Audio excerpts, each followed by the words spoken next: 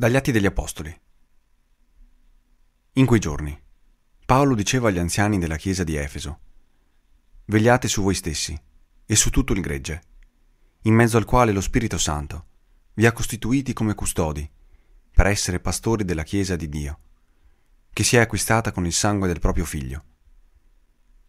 Io so che dopo la mia partenza verranno fra voi lupi rapace, che non risparmieranno il gregge, perfino in mezzo a voi sorgeranno alcuni a parlare di cose perverse, per attirare i discepoli dietro di sé.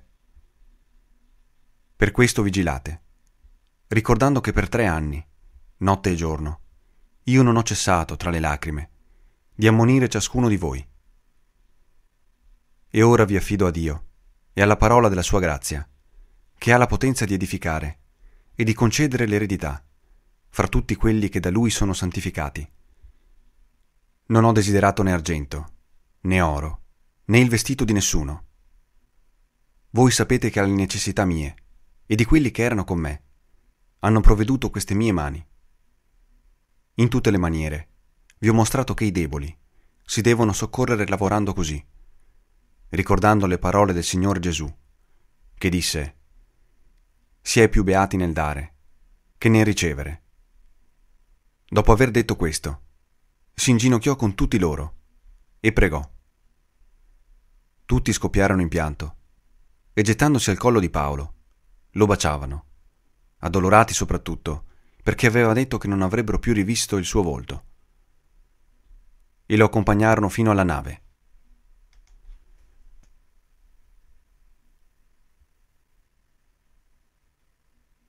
Regni della terra, cantate a Dio. Mostra, o oh Dio, la tua forza. Conferma, o oh Dio, quanto hai fatto per noi. Per il tuo Tempio, in Gerusalemme, i re ti porteranno doni. Regni della terra, cantate a Dio. Regni della terra, cantate a Dio. Cantate inni al Signore, a colui che cavalca nei cieli, nei cieli eterni.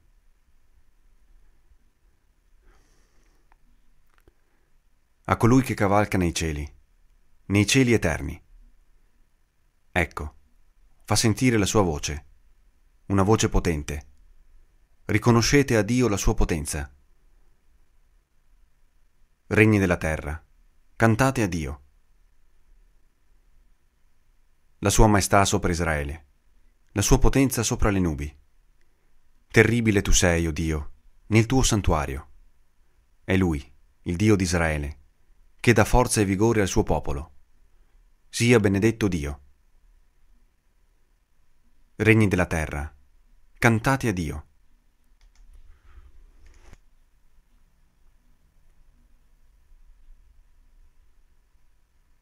Dal Vangelo secondo Giovanni. In quel tempo, Gesù, alzati gli occhi al cielo, pregò dicendo, Padre Santo, custodiscili nel tuo nome, quello che mi hai dato, perché siano una sola cosa, come noi. Quando ero con loro, io li custodivo nel tuo nome, quello che mi hai dato, e li ho conservati, e nessuno di loro è andato perduto, tranne il figlio della perdizione, perché si compisse la scrittura. Ma ora io vengo a te, e dico questo mentre sono nel mondo perché abbiano in se stessi la pienezza della mia gioia. Io ho dato loro la tua parola, e il mondo li ha odiati, perché essi non sono del mondo, come io non sono del mondo. Non prego che tu li tolga dal mondo, ma che tu li custodisca dal maligno. Essi non sono del mondo, come io non sono del mondo. Consacrali nella verità. La tua parola è verità. Come tu hai mandato me nel mondo, anch'io ho mandato loro nel mondo.